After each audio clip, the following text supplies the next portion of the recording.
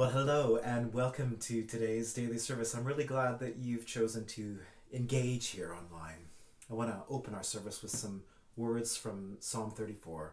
Please join in aloud on those parts labeled all. I will extol the Lord at all times. His praise will always be on my lips.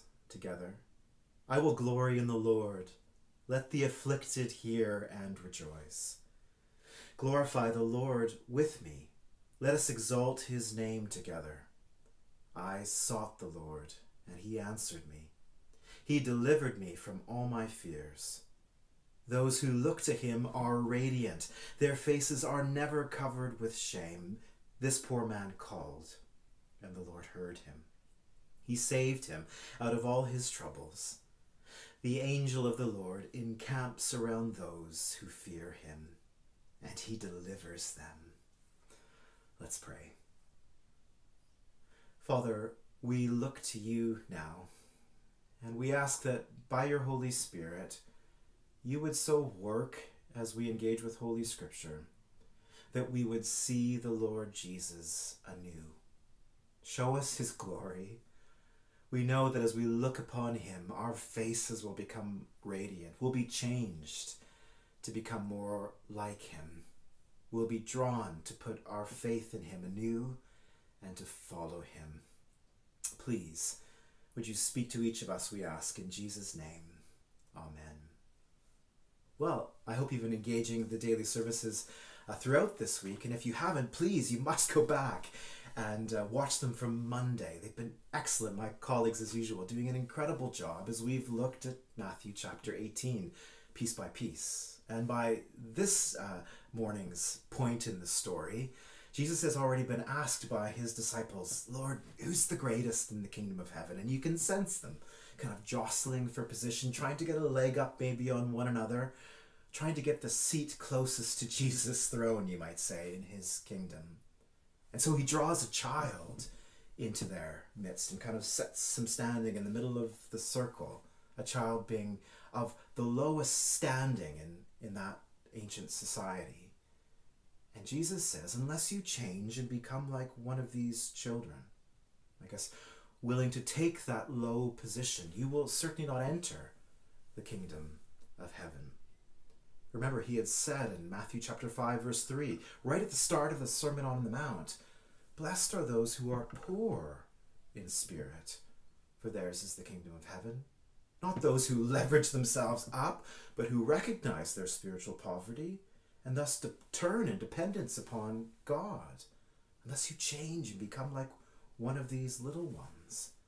And then, while focused on them, Jesus says about any of those little ones who believe in him, and here he seems to broaden out to include all of his disciples who humble themselves and become like one of these little ones.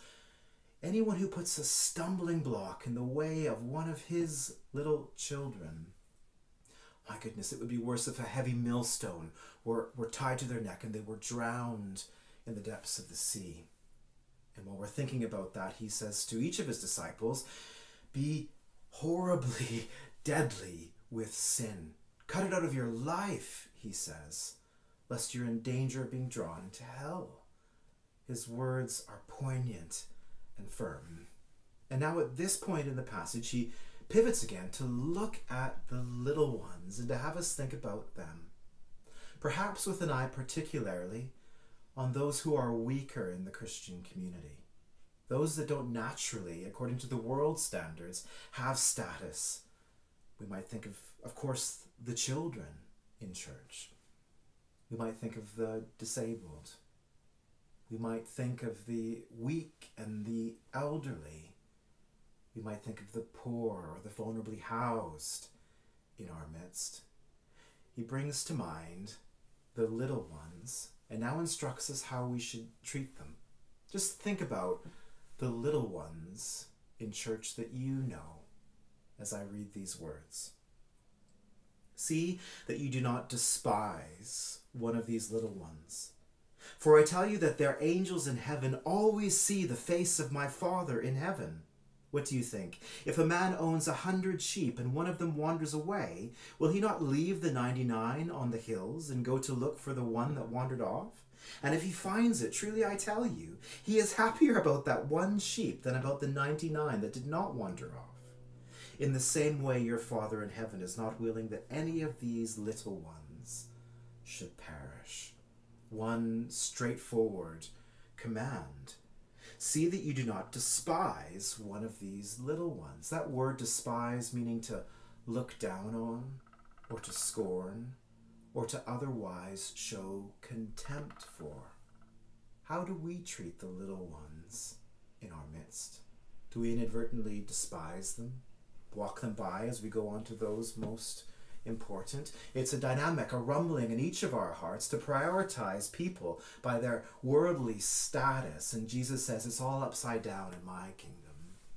Do not despise these little ones. And he gives us first one heavenly reason as to why we should not do that. He speaks about the angels. And you and I don't talk about angels often, but they're very real. And Jesus wants us to know that they're real. They're kind of like the MI6 of the Bible. We don't see a lot of them. They don't come to the forefront of our day-to-day lives, but they play a vital role. Not that one that not one that God needs per se, but just as he delegated responsibility to humanity over his creation and in his wisdom, he's created an angelic realm and given them responsibility to exercise a part of his work through them. Hebrews 1:14 saying, uh, aren't angels, ministering spirits sent to serve those who will inherit salvation. And Jesus says, These little ones of mine, their angels are always standing in the presence of God. Imagine walking by Buckingham Palace in London and seeing one of these little ones from church standing outside the gates alone. Maybe we'd have a quick conversation with the mask what they're up to. Maybe, maybe we'd quickly want to get on our way. But imagine instead that those palace guards with the tall black furry hats and the chin straps and the beautiful red coats with the white straps and the rifle and the jet black shoes, imagine that a number of them were gathered around that little one and two of them march from the crowd, and we see them heading back off into the palace. And as we look, we see Her Majesty herself standing in the window, and suddenly those two palace guards appear in view in her presence, clearly relaying to Her Majesty what's happening with the little one at the gate. Wouldn't that change our view of their importance? They're angels, Jesus says. Always see the face of my Father in heaven.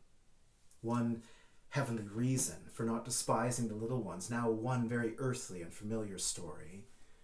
He told an expanded version of it as recorded in Luke chapter 15 to show that when one sinner repents, there's more rejoicing in heaven than 99 who don't need to repent. And here he doesn't apply it to the, the repentant sinner, but he applies it to his little ones. Think of it this way a COVID ward with a 100 patients. 99 easily recover, but one begins to languish. Does not all, all, the whole team of doctors and all of the nurses gather around and work to sustain the life of that one ailing patient, in a sense, drawing their attention away from the 99 to focus on the one on death's door? And when that one comes through, is there not more rejoicing in that COVID ward over that one patient who recovered than all the 99 who came through more easily so? Similarly, Jesus is saying, verse 14, in the same way, your Father in heaven is not willing that any of these little ones will perish. Do not despise my little ones. Their angels are standing before me in my presence. They're that important to me. I'm not willing that a single one of them be lost. They won't be. So love them that way.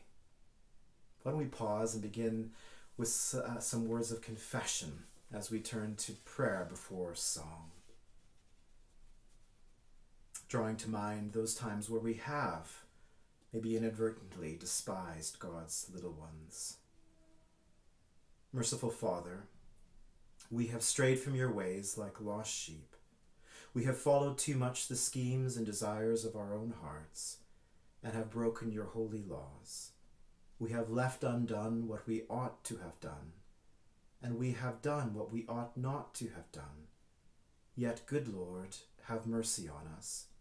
Restore those who are repentant, according to the promises declared to us through your Son, Jesus Christ. Grant, merciful Father, for his sake, that from now on we may live godly and obedient lives to the glory of your holy name. Amen. And let's pray the Lord's Prayer together. Our Father in heaven, hallowed be your name. Your kingdom come, your will be done on earth as it is in heaven. Give us today our daily bread. Forgive us our sins, as we forgive those who sin against us. And lead us not into temptation, but deliver us from evil. For the kingdom, the power, and the glory are yours, now and forever. Amen. And Father, now we draw to mind those little ones, those more vulnerable, those weaker in the world's eyes, and we thank you for them. We pray for your blessing and protection upon them, and pray especially during this COVID season that you would enable us, your church, to care for the weakest in our number, knowing how much you regard them and love them. And now a prayer for families during this half term. Would you join in aloud with me? Almighty God, our Heavenly Father, whose Son Jesus Christ shared at Nazareth the life of an earthly home, bless our homes, we pray. Help parents to impart the knowledge of you and your love, and children to respond with love and obedience. May our homes be blessed with peace and joy through Jesus Christ our Lord. Amen. Our song today focuses us on our King of love. Let's sing it aloud together.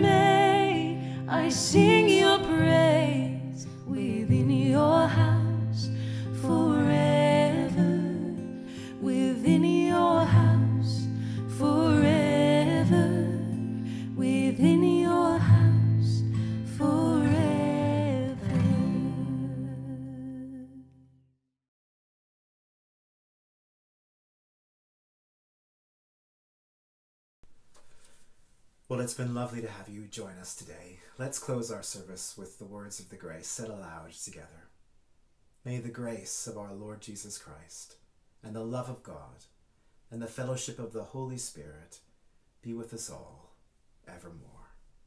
Amen. Amen. Have a great rest of your day.